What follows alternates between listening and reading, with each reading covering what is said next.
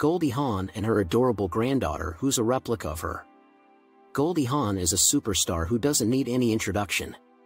She is looked upon for her ageless look and idealized for her relationship with Kurt Russell. And the most important fact, that she's a loving person. Goldie is a mother of three and one stepchild. She is also a grandmother to six grandchildren and on her social media shows you can clearly see she is one doting mother and grandmother. Though most of the Hollywood relationships don't last long, nonetheless there are some relationships that are long-lasting. Goldie Hawn and Kurt Russell are one of those lucky couples who have made their relationship work through decades.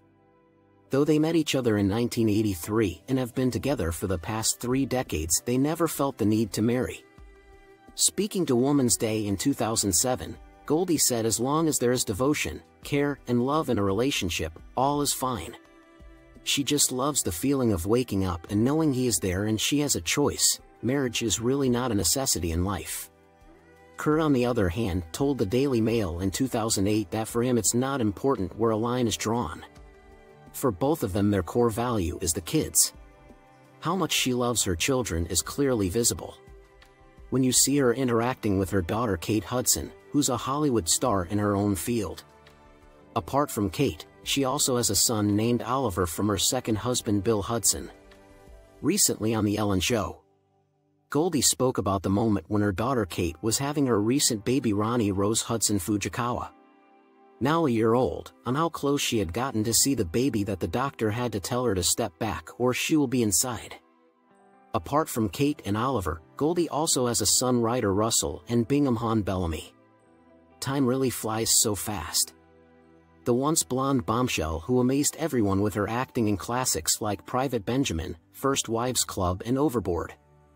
In the latest Netflix Christmas hit The Christmas Chronicles in which she plays Mrs. Claus opposite her partner Kurt Russell who plays America Claus is actually a grandmother today. Goldie's son Oliver got married to Erinn and gave Goldie and Kurt two grandsons Wilder Brooks and Bodhi Hawn. And a granddaughter Rio. Goldie often shares pictures of her grandchildren. And Rio happens to be her youngest grandchild. Matter of fact, the resemblance between Goldie or Gogo, the name given to her by her grandchildren is quite visible.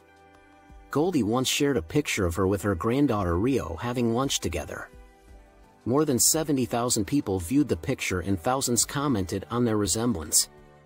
Goldie even attended a MindUP event where singer Barry Manilow was honored along with her granddaughter and said she couldn't have picked a better date to go along with. You don't need an Aladdin lamp to see the adoration Goldie has for her children and grandchildren.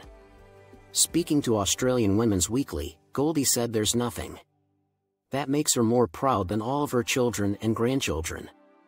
For her, being a grandmother is an amazing experience and she loves it.